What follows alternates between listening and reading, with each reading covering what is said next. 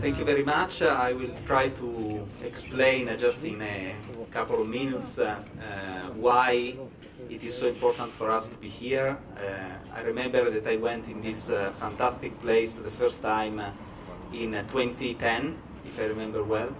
And Italy at the time was just starting to talk about innovation. Here I saw a fantastic example not only of innovation but on urban transformation dedicated to innovation.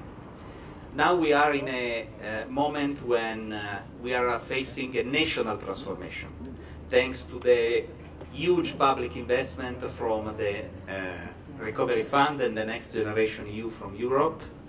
So we are facing an amount of investment that we've never faced uh, since uh, the, probably the end of the Second World War.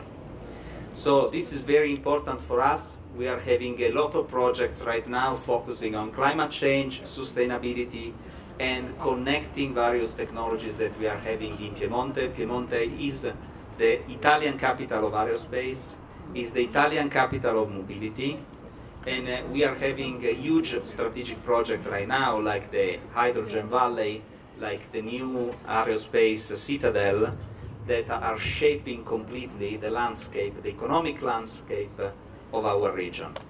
So we are in a moment when we need vision, and since we need vision, we need also to partner with visionaries, and so it's not uh, just by chance that we are here thanks to the engagement of Ambassador Eydar, and we are at the home of Erel Margalit two visionaries that I really want to thank to make this possible and to make this uh, new story to begin. Thank you. Good.